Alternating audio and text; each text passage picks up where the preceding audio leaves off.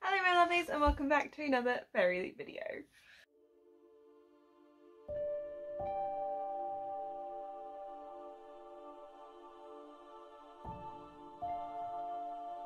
So I've got my Fairy Loot here. It did arrive a few days ago. As you guys can tell I've changed the background again. I just wanted to have on my wall not in a box and out where I can see it and I'm working through it and I'm just really happy and excited. I've just set up this desk now and tidying the room. Oh, and it's getting there. But Fairy Loot video. Okay, so.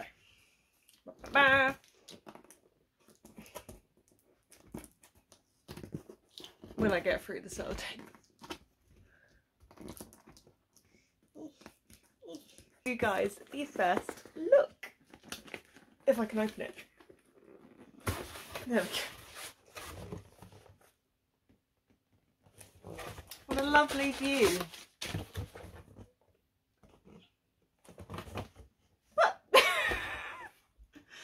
okay, so we've got another basket. Another basket. Okay, let's look at the basket. It's black and white. We like these. Well, I like these colours anyway.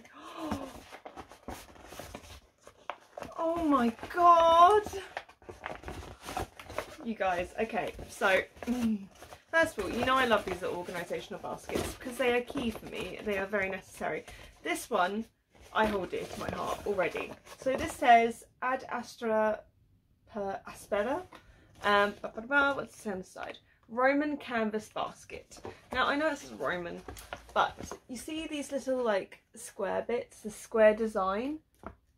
You see that all the way through like Greek culture, probably because we got taken over by the Romans. We got taken over by so many people. But this, honestly, just looking at this, reminds me of Athens. It reminds me of Cyprus. You guys know I went to Cyprus, so you know I'm half Cypriot. This feels a little bit like it's a reminder of home, because I'm not going to lie to you. Even though I was born and raised in the UK, I take on from the Greek side a lot in my family. And when I went to Cyprus, I turned very dark because my Greek genes kicked in. And I on it honestly felt like home. I actually contemplated moving there and but it was just things like my family, my friends are here, so we stayed. But we were we were ready. We were ready to move to Cyprus. Like it is it is my home. It is, and I'm I, I love it so much. And this honestly just reminds me of it. So this is good. This makes me happy. I love this. Moving on. This is this is a coaster. this is a oh my god. Okay, so this is the pattern on the uh, outside but it's thick and it's like a postcard but it's card and it's like it's like a coaster but it's it's from Olympus too so we're definitely going for a Greek vibe which I love this oh my god it's so beautiful I think this reminds me of the goddess of war like of battle like that's what it reminds me of Whoop. okay I'm gonna pop it in everything in here because as you can see I've tidied and I don't want to put things out. And I also think this is quite a lot of colour. If I put things down it, for you to see the background, it might just get a bit hectic. So I'm going to keep it and then I'll show you guys, obviously. To do it. Oh, hello. There is a, a Valkyrie helmet pin. Okay, so we're going for a lot of mythical stuff, aren't we? We've gone Roman, Greek, like Olympus. Now we're going like Viking for Valkyrie. Oh my god! It is a Valkyrie helmet pin. Look at how sick that is. This is beautiful. This is so goddamn gorgeous. The cheek card on the top. We've got another canvas bag. We got another canvas bag and it looks like books. Lore Olympus, The Song of Achilles, The Odyssey, Circe. Oh, the histories, Percy Jackson. Sorry, the Iliad, the Iliad, the the Star Touched Queen, Lore, uh, Plato, Republic, Never Look Back, Poetics, Ariadne, Ariadne. I'm too excited. Look at how beautiful this is.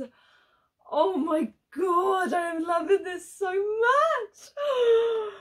I always love these canvas bags because I take my crochet stuff in them. I take them to charity shops and I get stuff and I love the ones with the books on them. I absolutely love this. Oh! Okay, this is such a good day. I've tidied, I've organised, my desk is a happy place again, and I get sick stuff from Fairy Loot. This is, oh, I thought this was like cardboard box, but no, this is, oh my god. Look at this. Look at it. Is this like, oh my god, the gold! the gold sprayed edges Oh my god, it's a notepad. It's a notepad. Oh my god, this is a notepad. This is a notepad with like a little bookmark thing, and it's just lined paper. Hmm. Okay. I mm, I wanted a notepad from Fairy Loot. I am now too scared to write in this. like this is so gorgeous and beautiful. I'm actually scared to write in it. Look how beautiful this is.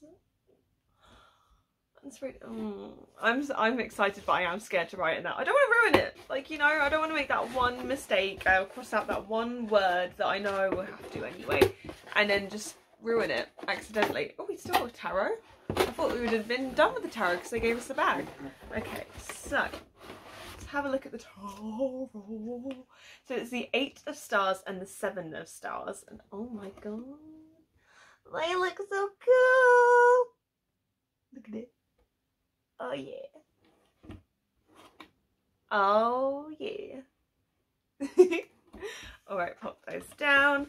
Okay, there is like a... Ooh, I think this is the... Yeah, this is the cheat card. But, oh, look at the artwork on that.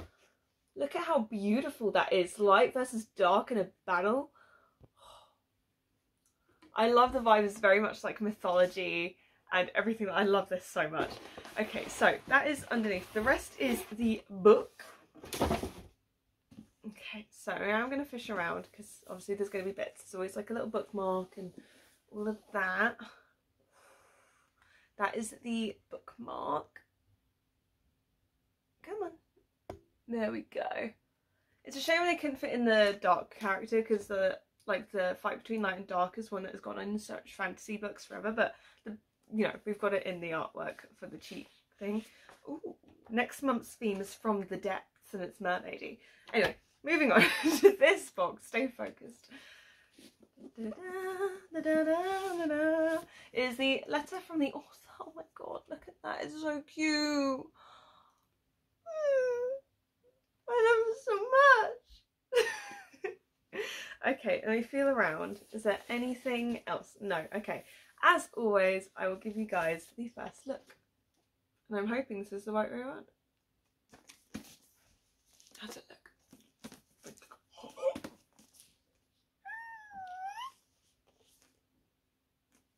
I am so confused. Right, this artwork was confusing me. Right, oh my god. Divine Rivals. Divine Rivals by Rebecca Ross. No God, no war can come between them. Oh my God, wow. Two rivals, two stories, two hearts, one fate. Oh, okay. oh my God, look at those sprayed edges. They're books and letters. Oh my God, that is beautiful. That is so gorgeous. And it's got um like the sparkly embossing for the stars. Oh, we all know I'm going to scream at the artwork. oh, ah, I just saw the cover accidentally because it flipped. Okay, I'm going to pretend I didn't see it. Um, oh my god, hello, hello, hello. You can tell it's going to be romance straight off the bat. Okay, let's read the blurb. The blurb, because I'm so excited. Right. when two rival journalists find love through a magical connection, their fate depends on their facing the depths of hell together. After centuries of sleep, the gods are warring again. All 18 year old Iris Winnow wants to do is hold her family together.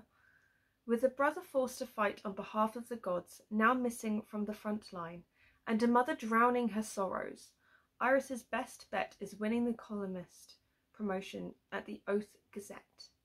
But when Iris' letters to her brother fall into the wrong hands, those of the handsome but cold Roman Kitt, her arrival at the paper an unlikely magical connection forms. Expelled in the middle of a mystical war, typewriters in tow, can their bond withstand the fight of the, the fate of mankind and most importantly, love? an epic enemies to lovers fantasy novel filled with hope and heartbreak and the unparalleled power of love. Okay, so we're going to open this up. Divine Rivals. Divine Rivals. For Isabel Ibanez, who read this book as I wrote it, who convinced me to add Roman's POV, and who occasionally let me get away with things. P.S. I'm talking about chapter 34. Oh, okay, I want to get to chapter 34. Right, part one, letters through the wardrobe, part two, news from afar. Okay. What, let's just look, let me read the title of number 34. Oh my god! Okay, so obviously she's put that there, and now I wanted to see what the title for chapter 34 was because it's all written here. And all it says was C, full stop. Mm. Write Me of Hope and Love and Hearts That Endured by Emily Dixon. And it goes straight into the prologue. Obviously there's going to be artwork on the back, we know this already. So, I don't want to look at the cover anymore. Oh, it's okay. So it's the same photo on the back, which is absolutely fine because this book is fabulous as it is. Writer's Appreciation. Thank you, Rebecca Ross, for such a wonderful, lovely book. okay, and now for you guys to see the cover. I accidentally saw it because it flipped over as I was taking, as I was like removing the dust jacket to be able to show you, you guys the artwork. Look how beautiful that is. Oh you can't tell me that this isn't the most gorgeous book. Well, no, all the books from FairyLoot are gorgeous. There are so many gorgeous books out there. There's not one that's the most gorgeous of them all, as far as I'm aware. But this book is bloody gorgeous. It is so subtle, but it's just enough. It is just enough. This book is just beautiful. okay, my lovelies. This is the end of this uh, FairyLoot unboxing. I hope you enjoyed it. I definitely have. Um, as always, comment, hate, like, dislike, subscribe, don't subscribe, hit the notification bell to annoy yourselves, um, or don't. And have a lovely rest of the day. Please stay safe, look after each other, reach out to your loved ones and make sure they're okay. I shall see you all very soon, my lovelies, and I hope you have a wonderful rest of the day. Bye, my lovelies. Mwah!